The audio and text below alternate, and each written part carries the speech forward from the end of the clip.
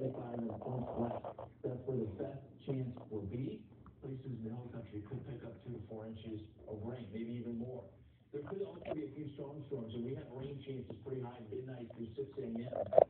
Around seventy to eighty percent chance of rain, uh, here in San Antonio. Those rain chances will taper off tomorrow morning. Rascal's We should see underneath the cover. And.